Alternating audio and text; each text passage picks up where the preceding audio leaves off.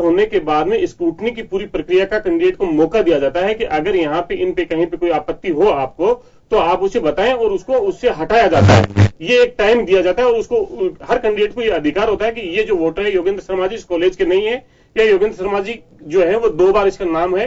तो पूरा मौका देने का जो एक प्रक्रिया है, बेहतरीन प्रक्रिया है उसके अंदर तो जितने जो फेक वोटर्स होते हैं, उनको हटा दिया जाता है, एक बात।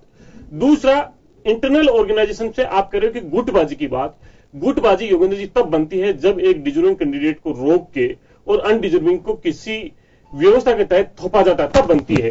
यहाँ पे तो कैंडिडेट का जो चुनाव है वो वही लोग कर रहे हैं उन्हें लगता है कि हमारा नेतृत्व तो ये कर सकता है उसी को अधिकार है। आपसे तो चौधरी साहब पैसे जी पैसे पैसे पैसे पैसे। योगेंद्र जी पैसे की जो बात है पैसे की जो आप कह रहे हो हम पैसे के बल पे जो मतदाता है जो वोटर है उस वोटर को तय करना है कि वो अपना वोट अपना जो भविष्य किसी नेता में देख रहा है क्या वो पैसे के दम पे देख रहा है या उसे एक नेतृत्व के तौर पे देख रहा है। चलिए लेकिन मैं आप लोगों के आँखें खोलना चाह रहा हूँ मैं आप लोगों के आप लोगों के आँखें खोलना चाहता हूँ कि आप इसे उचित ठहरा रहे हो। लेकिन स्थिति ऐसी निश्चित रूप से आप दीजिए अगर आप चलिए चिंता कर। एक बार एक बार आर से जी आर से चौधरी जी आर से चौधरी जी आंगली तोड़ दी जाती है। हाथ तोड़ दिया जाता है और वो लोग अनुशासन की बात करते हैं। चलिए यहाँ उसकी तकलीफ़ आपको भी है। मुझे बड़ी खुशी है मुझे बड़ी खुशी इस बात की कि बीजेपी के मीटिंग के और उसका हाथ तोड़ दिया जाता है और वो बेचारा कहीं पे जाके अपनी बात को नहीं लिख पाता इससे ज़्यादा गणित कहीं पे करी हो सकता है। चलिए और वो तीस सेकंड का वक्त दे रहा हूँ मैं राजेंद्र के पास जाऊँगा आपको कोई अपना ऑब्जेक्शन बताइए आप। हाँ, एक बार इनका ऑब्जेक्शन सुन लीजिए विश्लेषण? हाँ बोलिए बिल्कुल फास्ट और खत्म करिए क्योंकि राजेंद्र जी पास जाना है दुनिया ने देखिए थू थू किया आप कर गौ माता का वध करके ग्रंथ का इससे बड़ा है माता की अनुशासन के बीच में कहाँ से गौ माता आ गई? अरे आप अपने मुद्दे का जवाब नहीं दे पाते कैसे बात आती है। बिल्कुल बिल्कुल शर्म का नहीं है। देखिए शर्म और जब आपकी जवाब एक बार एक बार एक बार जवाबदेही का समय आता है तब आप मुद्दों आर से चौधरी जी आर से चौधरी जी निमिषा जी ये मुद्दा नहीं है। देखिए गौ माता पूजनीय है एटलीस्ट मेरे लिए तो पता नहीं आप लोगों के लिए राजनीति आप लोगों के लिए राजनीतिक मुद्दा हो सकता है। और ज़रूरत नहीं है गौ माता को यहाँ बीच में लेके आ रही हो आप। चलिए राजेंद्र जी मैं आपके पास में अग्रिम संक्रमण के चुनाव को लेकर के ये गुटबाजी खत्म कैसे हो सकती है? चलिए राजेंद्र जी आप बोलिए आप मुद्दे से भटकते हैं मैं बिल्कुल मौका नहीं दूँगा आप बोलिए। हाँ चौधरी जी एक बार सुनिए हाँ राजेंद्र जी जी। नहीं नहीं नहीं आप मुद्दे पर नहीं आ रही। है अगर आप बिल्कुल होगा। अगर मुद्दे से बात करना चाहते हैं तो आप बोलिए। लगता है तो जवाबदेही से प्रयास आर से चौधरी जी आर से चौधरी जी प्लीज़ एक बार। आप लोग दोनों ही मुझे लग रहा है कि आप मुद्दे से भटकना चाहते हैं बोलना नहीं चाहते। हैं आप एक बार साइलेंट रहिए। निमिषा जी आप टू द पॉइंट इनका अगर आपका कोई ऑब्जेक्शन इनके वक्तव्य तो आप तीस सेकंड में खत्म करिए। अन्यथा हम राजेंद्र जी के पास में जा रहे हैं। उस बच्ची ने अपना जो राजनीति में आने का मैं उसी में जा रही हूँ कि कई बच्चियाँ मिलने लग गई हैं। चलिए उनका अब यह है कि बहुत अच्छी बच्ची है मैरिट होल्डर है वो राजनीति में आना चाहिए मैं उससे सैल्यूट करता हूँ उनका वेलकम है राजनीति में आने के लिए। राजेंद्र जी मैं आपसे जानना चाहूँगा कि चुनाव मतदान के ज़रिए अग्रिम संगठनों का हो रहा है। इससे क्या लगता है आपको कि गुटबाजी खत्म हो पाएगी और संगठन को मजबूती मिल पाएगी? मैं आपसे जानना चाहता हूँ। धनोबल से कोई मजबूती नहीं मिलती है। पहली चीज़ तो मैं बताऊँ कि जी।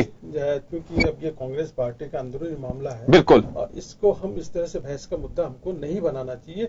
हमारे लिए बहस का मुद्दा ये है कि आज का युवा किस दिशा में जा रहा है। बिल्कुल बिल्कुल। क्या इससे गुटबाजी खत्म होगी? जो संगठन चाहता है कि मजबूती के साथ में मेरा फ्रंटल ऑर्गेनाइजेशन पनप पाएगा लेकिन जब मतदान में धन बल भुजबल चाकू छुरे चल रहे हैं तो इससे कैसे गुटबाजी खत्म हो सकती है? यही ये ये वास्तव में चिंतनीय बात है और ये दोनों पार्टियों को बल्कि सभी पार्टियों को इस पर चिंतन मनन करना चाहिए।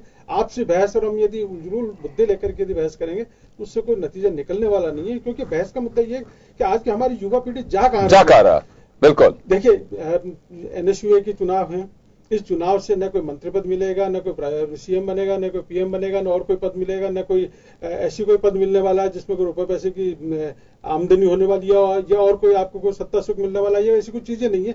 जब ऐसी स्थिति के अंदर, एक मामूली चुनाव के अंदर केवल आप एक अपने, चाहे आप विधानसभा क्षेत्र का मान लो, चाहे लोकसभा क्षेत्र का मान लो, वहाँ के अंदर युवा का प्रतिनिधित्व करेंगे, केवल उसके लिए यदि इस तरह की चीज़ हो रही है।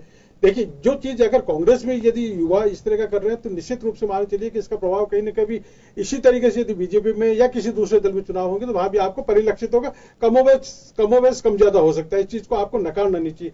हमारे लिए महत्वपूर्ण चीज़ ये कि युवा, जो आज का युवा है वो कहा क्यों भटक रहा है? हम्म। अगर वो धनबल और और बाहुबल के आधार के ऊपर पॉलिटिक्स में आना चाहता है बिल्कुल। तो हमारे आगे आगामी जो पॉलिटिक्स होगी आगे जो वो स्वच्छ और अच्छी पॉलिटिक्स नहीं रह सकती हो। हमको उसकी उम्मीद नहीं कर सकते। बिल्कुल। उसके अंदर यदि छीटाकसी करेंगे स्वच्छ और स्वस्थ राजनीति में रहने के लिए राजेंद्र जी खुद को अनुशासित रहना पड़ता है और खुद के अनुशासन चलिए तो राजेंद्र जी मैं आपकी बात से सहमत हूँ कि राजनीति में अच्छे लोग आने चाहिए और इसमें कोई संदेह नहीं है कि यूथ वो आगे आए जो बिल्कुल देश के प्रति उनका लगाव लगाव को लेकर मैं माफ़ी चाहूँगा कि उस तरह के लगाव की बात नहीं कर रहा हूँ। हर व्यक्ति में लगाव है। मैं कोई राष्ट्रवाद पे किसी पे सवाल नहीं खड़ा कर रहा हूँ। लेकिन वो लगाव एक सेवा भाव का हो और एक अच्छे लोग आने चाहिए राजनीति, हम तो वेलकम करते हैं उन लोगों का। लेकिन जो ज़रिया है और जो रूट लाइन आप चुन रहे हैं, मुझे लगता है कि वो बेहतर नहीं हो सकती। ऐसा लालच पैदा करने की कोई आवश्यकता नहीं है जिसमें आप लाखों रुपए फूंक करके एक संगठन के चुनाव जीत पाए और फिर एक आपका जो अभिलाषा, आपकी लालसा, वो इतनी अपने आप की अपेक्षाएँ जागृत कर दे कि आपको करप्ट होना ही पड़े। मुझे लगता है कि ऐसी राजनीति से बेहतर है कि आप घर बैठे तो ज़्यादा बेहतर होगा। और फ्रंटल ऑर्गेनाइजेशन का वैसे तो कांग्रेस का अंदरूनी मामला है, लेकिन जो तस्वीर सामने निकल करके आ रही है, उसको देखते हुए कांग्रेस को इस पर विचार करना चाहिए कि किस दिशा में मतदान जा रहा है, इसमें और बेहतर कैसे किया जा सकता है। हम राहुल गांधी जी से अपील बिल्कुल नहीं करेंगे कि आप इस फ्रंटल ऑर्गेनाइजेशन के मतदान के ज़रिए आप किसी अध्यक्ष को चुने, वो अपना, खुद का आपका निर्णय। लेकिन जो अभी परिस्थितियाँ बन रही हैं, मुझे लग रहा है कि वो सोच के अनुकूल नहीं है, इस पर लगाम ज़रूर लगना चाहिए। चले छोटे से ब्रेक के लिए रुकेंगे ब्रेक के बाद हम वापस लौटेंगे। पैंसठ पूर्व नौकरशाहों का नरेंद्र मोदी को खुला खत। क्या है उस खत में, और क्या है उसके मायने? एक छोटे से ब्रेक के बाद लौटकर उस पर करेंगे चर्चा।